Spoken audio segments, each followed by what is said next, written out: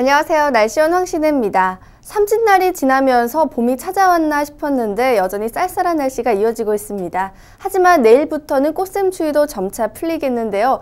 이번 예보 기간에는 대부분 평년 기온을 회복하면서 봄 날씨를 만끽하실 수 있겠습니다. 그럼 자세한 주간 예보 통해 한 주간 날씨 알아보겠습니다. 이번 주에는 대부분 구름만 조금 끼는 날씨가 이어져 봄날들이 가시기 좋겠는데요. 다만 30일 금요일에는 다시 전국에 봄비 소식이 있습니다. 그 밖의 날은 구름만 많겠습니다. 내일 낮부터는 기온이 점차 오르면서 평년과 비슷하겠는데요. 비가 온 뒤 주 후반에는 다시 기온이 조금 떨어지겠습니다. 강수량은 평년보다 많겠습니다. 주간 예보였습니다.